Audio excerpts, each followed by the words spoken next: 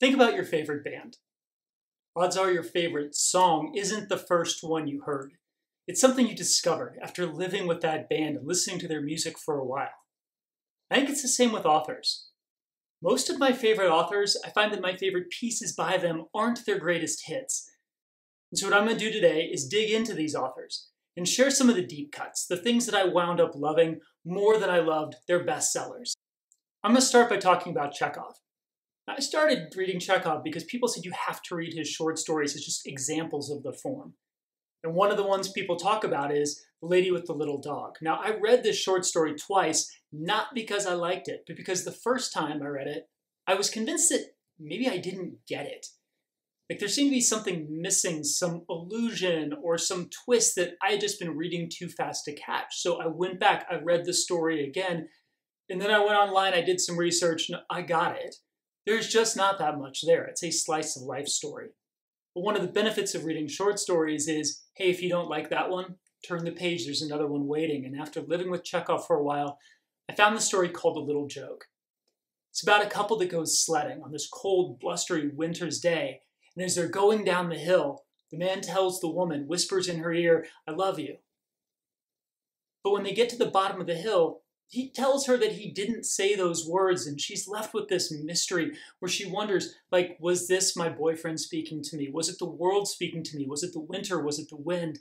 And that sense of possibility suddenly infuses this story with this almost magical quality. It had that twist that nuance of both the characters and what they might be thinking throughout the story that i missed with some of the more traditional chekhov stories and i thought it was just great. It's also super short. It's only five or six pages long so if you wanted to get into Chekhov, that would be a really good place to start.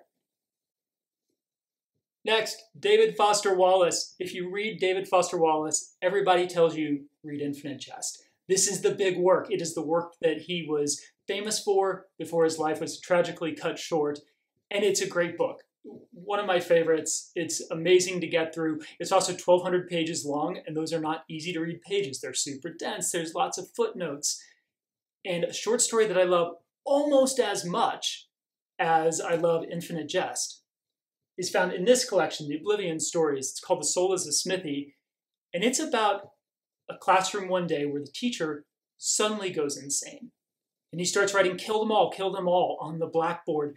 Most of the kids, being smart, run for it.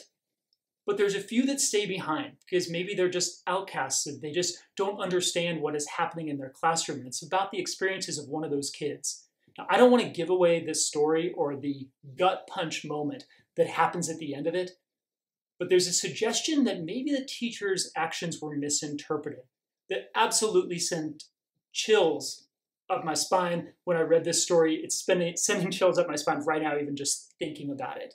So if you wanted to get into David Foster Wallace, don't want to jump into a 1,200 page truck of a book like Infinite Jest, Soul's a Smithy in this collection is a deep cut that really gives you an idea of what made him so special and why we miss him so much. Next, let's talk about Flannery O'Connor. Now, I am a Flannery O'Connor completist. I have read everything that she's written, all the fiction she's ever written. And like everybody else, the first thing I read is A Good Man is Hard to Find. This is one of those stories that they teach you in high school. It's about a family, they're going on a road trip, they run into convicts, bad things happen it has a moment of grace at the end, which is what O'Connor was really known for. These places where people find grace in these difficult situations. But as I read more and more Flannery O'Connor, she didn't write that much stuff, so it was easy for me to sit down and say, you know what, I'm just going to read it all. I'm going to read everything she's ever written. And I started to develop this picture of her in my mind. I don't know how accurate it is because I'm not an O'Connor scholar. I haven't read biographies of her. But I felt this tension in her work, where part of her felt, you know, I have the talent to go to Paris with the Lost Generation. And I have the talent to go sit at the Algonquin Roundtable with Dorothy Parker or whatever it is. And yet, she had very bad health. She was very connected to her Southern roots. She was a Catholic writer. And all of those things pulled her in a different direction, in this very formal sort of mode of writing. This mode of writing where she was really imparting lessons and morals throughout everything that she did the deep cut that I fell most in love with was actually an essay in this book, Mystery and Manners.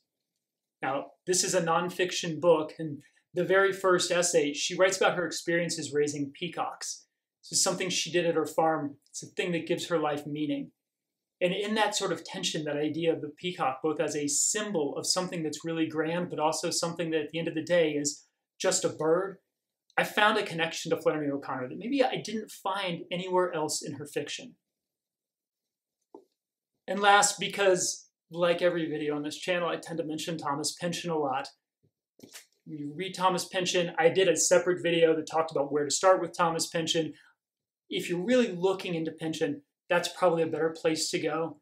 But my own personal favorite, or the deep cut that I always don't understand why people don't like, is Vineland. This is a story about a young girl trying to figure out why the cops and the system is always after her lovable hippie dad. He doesn't seem like that bad a guy.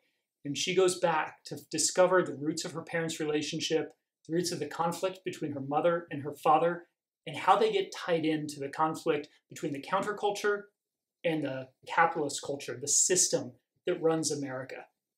To me, this book, because it is a little bit easier to understand than something like Gravity's Rainbow, is sometimes a little bit better way to get into Pynchon. You can really start to think about how beautiful the stories are and really get to understand the characters. And instead of like all these themes and all these absurd things where every single sentence leads you down a different rabbit hole, in Vineland there's only one rabbit hole. And you are traveling down it with this girl as she tries to understand exactly what makes relationships, both in the public sphere and between people who even love each other, so difficult. So this is a Pynchon deep cut, if you can have a deep cut of someone who only wrote eight books so far, that I absolutely adore. And if you're getting into Pynchon, it's a good one to go to.